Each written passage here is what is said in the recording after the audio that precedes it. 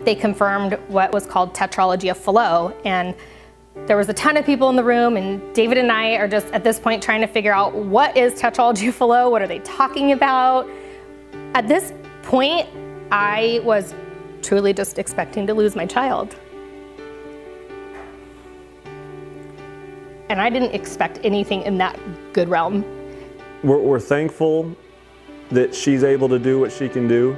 Um, a lot of it is her spirit. She's very social. She, she has an aura about her. You can see her in the pictures and everything that she does, she glows. She wouldn't be here without the care that we receive. And you know, we know that, that Valley Children's has one of the leading cardiac groups in the nation. They saved our daughter's life and I want to do that for other kids too.